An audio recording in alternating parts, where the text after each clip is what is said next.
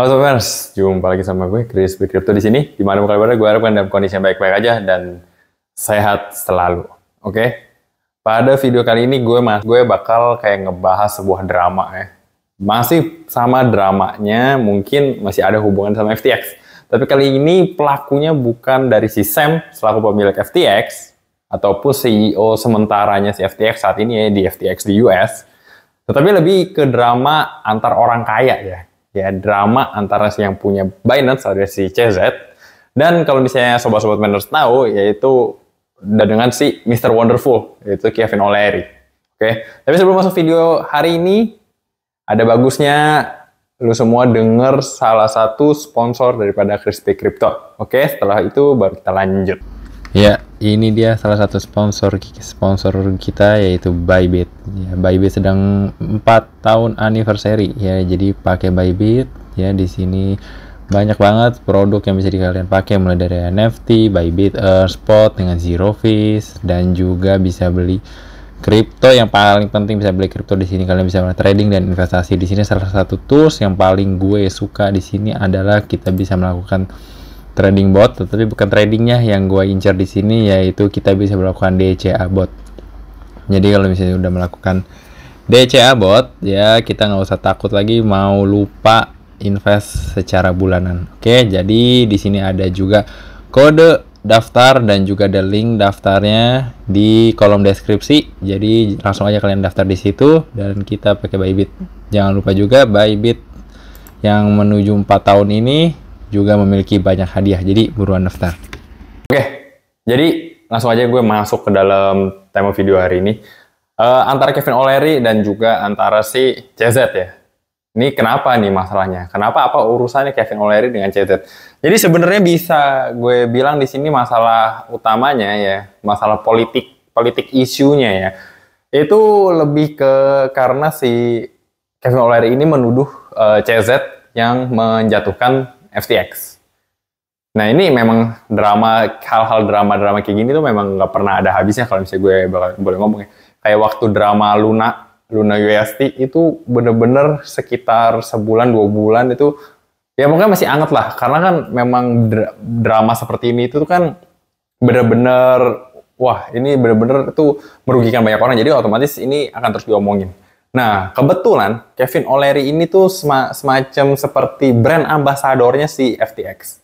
Jadi ya kalau misalnya sobat-sobat miners juga tahu, Kevin O'Leary itu sepanjang tahun ya, sejak tahun lalu dan sejak dua tahun yang lalu itu banyak banget ngasih tahu ke sobat-sobat teman-teman dia lah ya, yang kayak para followers-followers di Twitter itu untuk kayak beli Bitcoin, beli Bitcoin, uh, beli it, beli it gitu. Nah sampai akhirnya di suatu Twitter dia juga dia ngomong ya lo kalau mau aman ya lo beli di FTX lah. Karena FTX itu uh, legal di US gini segala macem. Jadi memang dia bukannya kayak ngebelain FTX atau gimana ya namanya juga dibayar kan.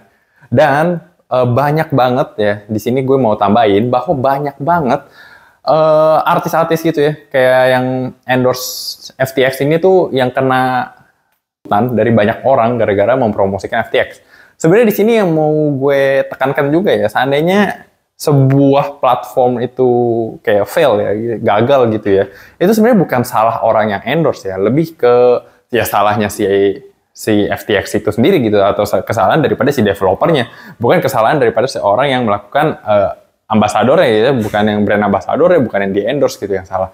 Nah, uh, jadi kayaknya agak salah target nih kalau misalnya mau dituntut. Nah, tetapi di sini menurut gue Kevin O'Leary ini punya yang namanya sedikit sensi terhadap CZ ya yang selaku pemilik Binance. Jadi dia di sini udah gue catet ya, udah gue catet uh, poin-poin pentingnya kayak Kevin O'Leary versus CZ ya.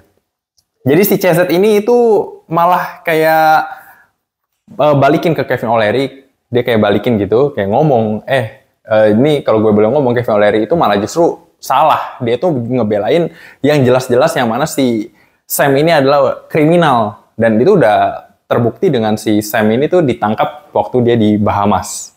Nah, jadi uh, itu salah satu yang kayak poin CZ kayak kenapa lu masih belain penjahat gitu loh. Lalu yang kedua, uh, lu belain penjahat pun gara-gara lu di endorse dan lu mendapatkan suntikan dana 15 juta dolar. Nah, lalu sedangkan si siapa ya? Sedangkan si Kevin O'Leary nih dia balikin lagi ke CZ. Lu si CZ dia kayak ngomong gitu loh. Lu sendiri itu dengan kehancuran si FTX dengan hancur FTX tuh lu tuh malah menjadi satu-satunya di market gitu loh. Lu bener-bener lu bener-bener memonopoli cryptocurrency gitu loh. Lu bener-bener memonopoli exchange, jadi exchange terbesar di dunia. Dan memang banyak ya. Jadi di sini tuh banyak orang tuh juga dia ngelihatnya kayak gini loh. Dia ngelihat CZ tuh kayak oh lu melakukan investasi di sini, lu melakukan investasi di situ. Sedangkan waktu itu FTX juga sama, dia melakukan hal yang sama, dia melakukan investasi di sini, dia melakukan investasi di situ. Permasalahan utamanya dari investasi-investasi yang dilakukan oleh uh, eh, FTX itu ya FTX gagal, semuanya gagal, ikut jatuh gitu loh. Nah, sedangkan gimana nih Binance gitu loh, apakah aman? CZ pun merespon itu dengan menurut gue dengan bagus ya. Jadi di sini gue bukan mau mendukung CZ, tetapi memang kayak CZ itu orang pinter gitu loh. Jadi dia ngejawabnya dengan easy, easy peasy aja dia kayak ngejawab. Ya lu mesti lihat apa yang Binance purchase selama beberapa tahun terakhir itu adalah demi kepentingan cryptocurrency, demi kita push adopsi gitu segala macam. Tetapi sedangkan kalau misalnya lu lihat FTX, FTX itu tuh banyak ngendorse politikus. Dia banyak mempunyai maksud, maksud terselubung seperti dia menyuntikkan dana ke Partai Demokrat di Amerika ya biar FTX bisa beroperasi di US. Dan ada lagi seperti dia apa spend banyak properti di Bahamas gitu loh untuk uh, untuk aset dia, aset pribadi gitu loh, bukan sebagai tanggungannya si FTX dan FTX-nya kenapa-napa. Jadi maksudnya CZ nih banyak uh, kayak kasih counter counter dan dia kayak terbuka aja ya udah silahkan kalau misalnya lu semua mau periksa gue punya gue punya tabungan apa gue punya reserve di Binance semuanya silahkan lu periksa pasti uh, kita bersih gitu. Ya CST positif nih ya. Jadi ini gue masih menceritakan ke lu semua nih itu adalah sebuah uh, alur ya alur kayak CST bisa ngejawab. Nah lalu Kevin O'Leary juga ngomong lagi nih. Nah bilang lagi bahwa uh, lu dengan sengaja menjual uh, FTT alias FTX token untuk menjatuhkan FTX Nah, lalu di backup nih. Nah, gue nggak tahu apa hubungannya uh, eh, FTX CEO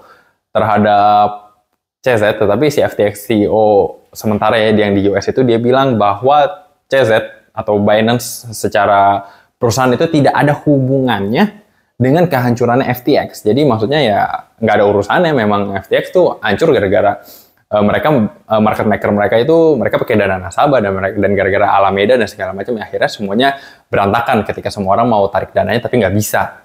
Nah, jadi maksudnya ini memang uh, apa ya narasinya pengen menjatuhkan Binance, tetapi uh, selalu bisa di counter oleh orang-orang yang memang Binance tuh nggak melakukan ini gitu loh. Lalu lalu Kevin O'Leary pun juga mengatakan bahwa uh, si FTX itu kan sempat kasih ke buy, uh, CZ gitu ya, kayak minta tolong Binance untuk buy out sebesar sekitar 22 juta dolar gitu loh. Atau 200 juta ya, gue agak uh, salah-salah nih kayak baca berita yang antara 200 juta dolar atau 22 juta dolar buat menyelamatkan FTX. Dan yang mana itu kayaknya si CZ itu sempet ke terima gitu ya, kayak terima dana dari FTX. Nah si Kevin O'Leary bilang, uh, emang nggak ada yang namanya kayak policy clawback gimana kalau misalnya si perusahaannya itu hancur, perusahaan yang kasih dana ke si Binance ini hancur, itu ya employee-employee atau karyawan yang ada di FTX itu berhak untuk mendapatkan kembali uangnya gitu loh.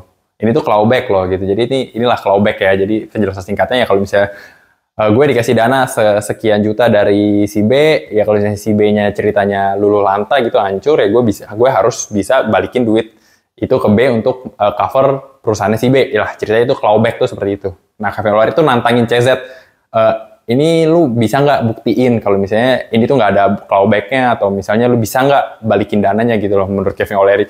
Dan sejauh ini ya sejauh ini CZ belum kasih jawaban untuk itu. Jadi di sini gue ada kayak semacam kesimpulan ya. Setelah gue baca 4-5 artikel lah ya tentang Kevin O'Leary lawan CZ ya atau CZ melawan Kevin O'Leary di sini gue ada sebuah kesimpulan di mana kesimpulan pertama ini adalah perang politik, udah pasti. Jadi mereka akan saling menjatuhkan.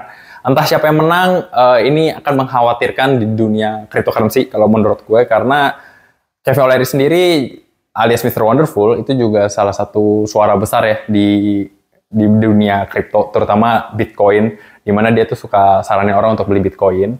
Lalu dari sisi CZ ya CZ memiliki exchange terbesar, exchange kripto terbesar, tempat trading kripto terbesar di dunia ya ada si CZ. Jadi otomatis kalau misalnya salah satu dari mereka ada yang jatuh, otomatis ini akan berdampak besar. Nah, jadi kesimpulan kedua adalah yang kalian mesti hati-hati itu adalah ketika terjadi keributan seperti ini, apakah uh, Binance dan juga yang di Indonesia seperti toko kripto ya, ini kan toko kripto kan dari Binance ya, itu aman nggak? Ya, jadi nilai BNB lalu exchange-nya itu aman atau enggak? Jadi menurut gue kita cuma mesti hati-hati sama dana kita pribadi. Jadi kalau misalnya ada yang masih punya dana di Binance, ada yang punya dana di toko kripto, mungkin jaga-jaganya adalah tarik ke hot wallet ya mana tahu Binance kenapa-kenapa.